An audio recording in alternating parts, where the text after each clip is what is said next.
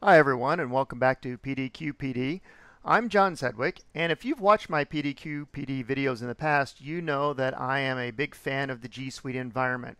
I believe that the Google Docs uh, allow a lot of flexibility for us to use in education and one of the reasons that they're so flexible is that they can be used for a number of different purposes.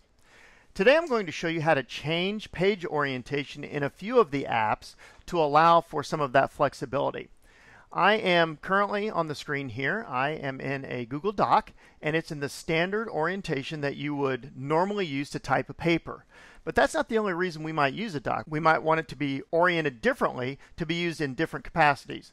In order to do that, I'm going to start by going to File and I'm going to scroll down to Page Setup. And if you've never been here before, you have some options on this page that can change the way your document is set up. The first is the orientation, and you can see it's set for portrait, or you can change it to landscape.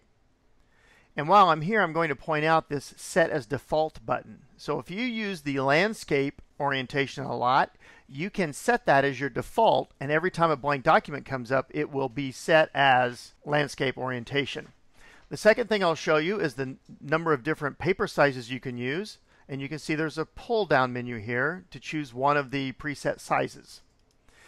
Down here is the page color. And if a lot of kids like to work on colored paper, it makes it just feel a little bit different than just the standard blank white page. You can go to page color and select the color that you want for your page. And here under margins, you can set how much of a margin you want left, right, top, and bottom. And again, if you want to leave that as your default, you can click the set as default. But for now, I'm just going to change it to landscape and look at the color to see what the page will look like.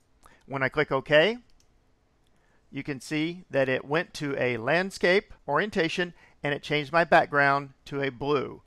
And at this point, I can start typing just like I could any other document, but it's set with a different orientation. Now next, I'm going to jump over here to a Google slide. Now, in a Google Slide presentation, and the vast majority of the time, we use it as a presentation tool, and that's great.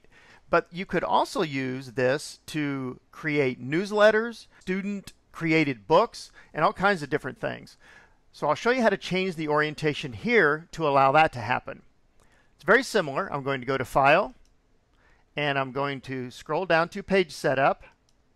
And this time you don't see the standard portrait or landscape orientation, all you have here is some of these windows that change the way it's going to look. However, if I go down to custom, I have an option to set my own numbers here in inches, centimeters, points, or pixels. And I'm going to leave this for inches, and I'm going to change this to 8.5 by 11 for a standard piece of paper.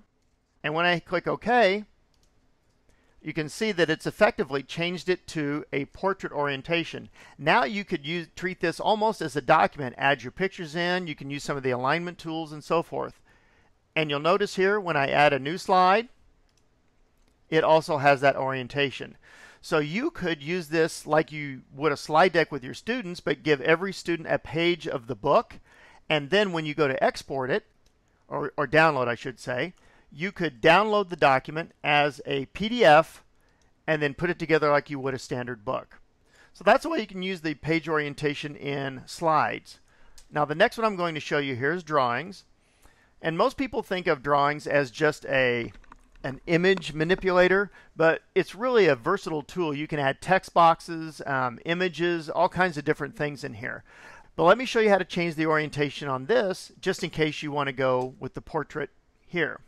Same process, file, page setup, and it's similar to the slides where you have to change your settings. I'm going down to custom, again 8.5 by 11, and it changes it to a portrait. Now, when it comes to Google Drawings, one thing you can do is if you know that you're creating an image for something specific, let's say you want to change your Twitter profile picture.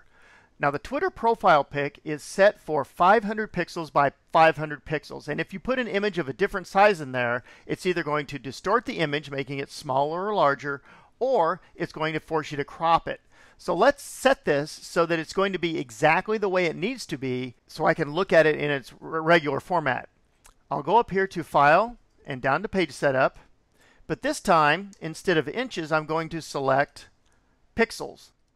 And you can see it changed the, those inches to the corresponding number of pixels. But I'm going to change this to 400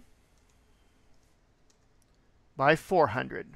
And this is for the profile pic. And then when I click OK, it turns it into this square. Now when I enter an image into here, as long as it fills up the square, it will be exactly the right size for the profile pic. Now you know on Twitter there's that background image, that long rectangular image.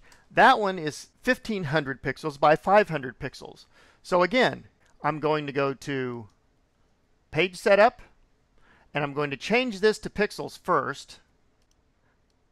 And now I'm going to make it 1500 by 500. And when I click OK, it sets that rectangular page there. And as long as your image fills up this space, it will be the right size to be in proportion when you copy and paste that into your Twitter profile. So these are just a couple of ways that you can use the page setup to allow for some more flexibility in your classroom. I hope these are some ideas that you can use in class, and as always, have a great day.